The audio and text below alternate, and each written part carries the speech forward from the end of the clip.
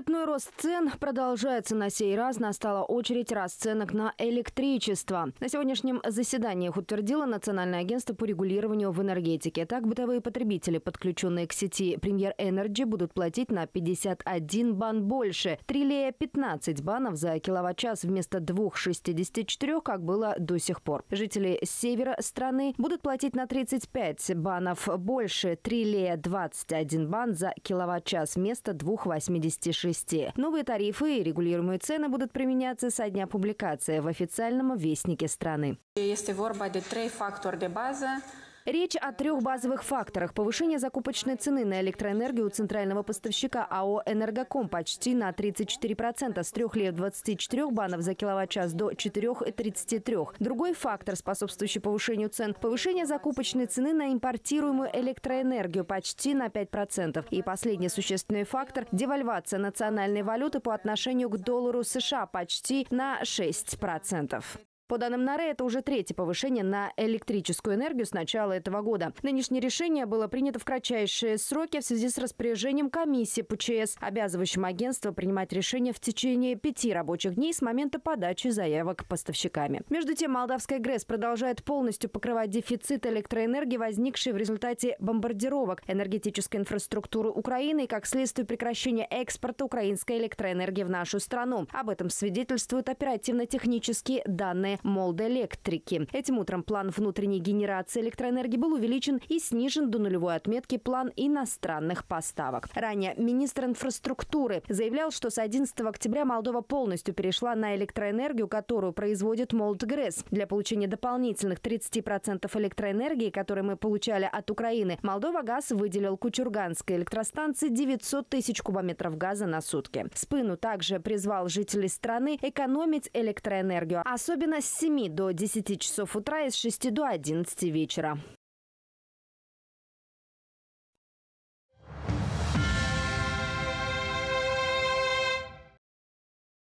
Утренние обыски в мэрии Ханчешт прокуроры по борьбе с оргпреступностью и особым делам наведались в дома и кабинеты представителей местной администрации. Их подозревают в незаконной выдаче земельных участков в муниципе. На данный момент известно немного, но правоохранители обещали представить подробности после завершения всех следственных мероприятий. Впрочем, по словам источников, близких к следствию, обыски проходят и у мэра Ханчешского района Александра Ботнаря. В 2018-2019 годах по решениям Ханчешской администрации. Несколько земельных участков были выставлены на торги и проданы по символическим ценам. Об этом также писали журналисты Райс Молдова в расследовании, опубликованном в конце этого лета. Так выяснилось, что возле Ханчешского леса землю облюбовали четыре городских начальника. В 2018-2019 каждый выкупил у мэрии по полгектара сельхозземли, выставленной на торги. Земли должны были быть проданы по цене около 10 тысяч леев за каждый участок. Мы пытались получить комментарий комментарии от самого Ботнаря, но его телефон был отключен. Мы также связались с главой прокуратуры по борьбе с оргпреступностью и особым делам Сергеем Русу, но тот оказался на заседании, а ответственные за связь с прессой не ответили на наши звонки и сообщения.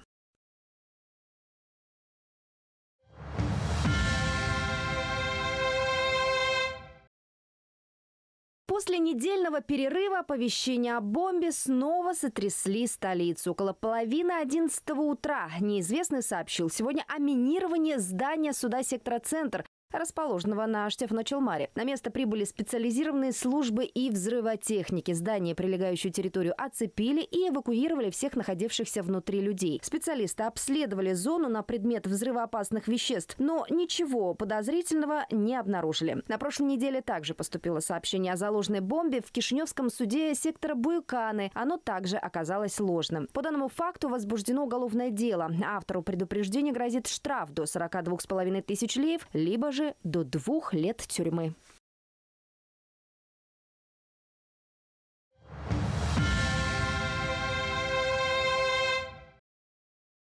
В Молдове запустили платформу для расчета компенсации на газ, электроэнергию и отопление. Как отметил на пресс-конференции министр труда и соцзащиты Марчел Спатари, зарегистрироваться можно будет онлайн или письменно при помощи соцработников, библиотекарей или волонтеров. Для регистрации у граждан Молдовы будет в распоряжении полтора месяца, начиная с сегодняшнего дня. По словам чиновника, компенсационный фонд за первый месяц холодного периода этого года был увеличен практически втрое.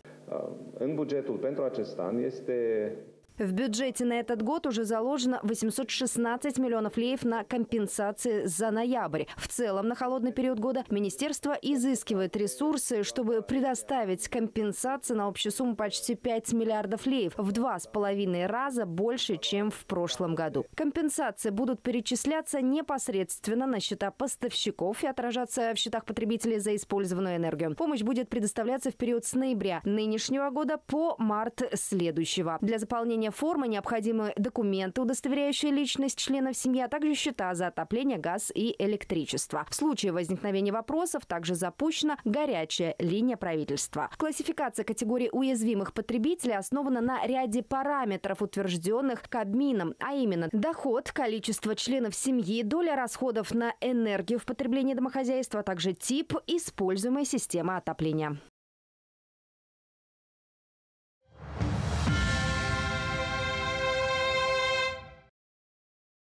Цепные подорожания возвращают нас в прошлое. Напуганные возросшими тарифами на газ и электричество, все больше молдаван предпочитают отапливать свои дома с помощью печей. Подтверждают это и печники. Говорят, что заказов у них сейчас стало намного больше. Причем среди клиентов не только сельские жители, но и горожане. Смазываются все стороны кирпича, когда его укладывают не только одна сторона. Елисей Писика работает печником более 40 лет. Первую свою печь изготовил у себя дома. С тех пор начали поступать заказы. Сначала от соседей и родственников, затем дело расширилось. За плечами 64-летнего мастера без малого тысячи печей.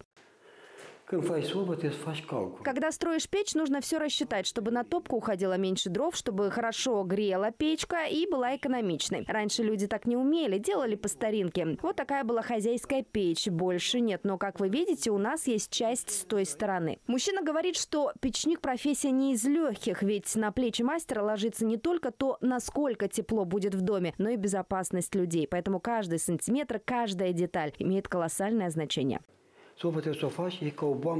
Печка как бомба в доме, если не умеешь ею пользоваться. Вот, например, те, кто закладывают туда ореховую скорлупу или опилки. Да, так можно делать, но огонь надо постоянно поддерживать. А когда видишь, что он потух, надо снова поджечь. Потому что белый дым, который будет идти после потухания, это газы, и они взрываются.